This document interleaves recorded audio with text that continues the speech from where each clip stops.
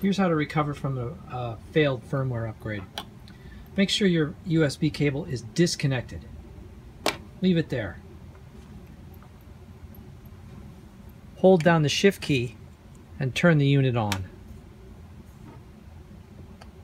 A utility screen will you're going to see after you've turned on the unit while holding the shift key at the same time. There's no need to change anything on this screen. You can just leave it as it is.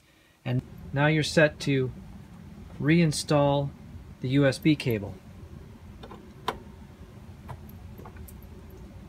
Now what we're going to do is install the firmware with FractalBot. So we're going to get you to open FractalBot. Now you're going to choose AX8 as the device. It's going to auto-populate the MIDI ports. Now we're going to browse to the firmware file.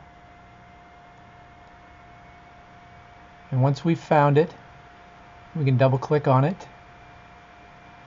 There it is. Double click. And there's the file and browse. We're going to begin and start the process. Now make sure that you allow FractalBot to complete the file upload to the AX8.